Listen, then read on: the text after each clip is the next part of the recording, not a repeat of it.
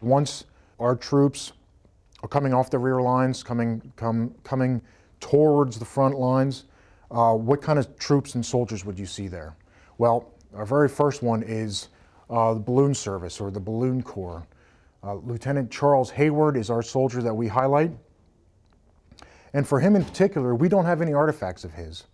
However, we do have a wonderful collection, photograph collection and archival col collection. So we don't have anything that's three-dimensional, but we have his um, materials that really state what he did as a balloon observer, uh, went up in a balloon basket to observe the enemy lines and what he did while he was up there.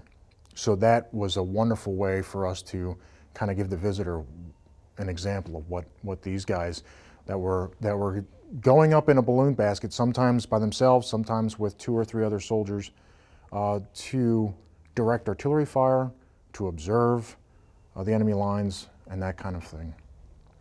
Uh, for, and for him, we have one of our first interactives for a visitor. So basically, you can get into a balloon basket. This is uh, reproduced off of what the originals would have looked like.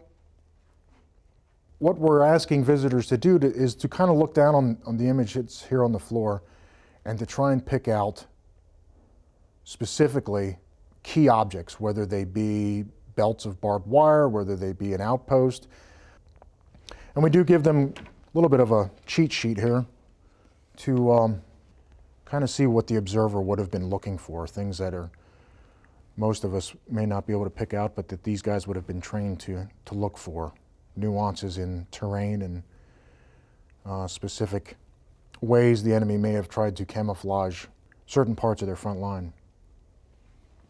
Here we have another photograph of some balloon observers that are getting ready to, to go up. The two conical bags you see here are actually parachutes. This was um, one of the first times that, uh, that parachutes were used in active, active combat. So the observers, if they were attacked by enemy airplanes, would have been expected to, um, to basically jump right out of the basket.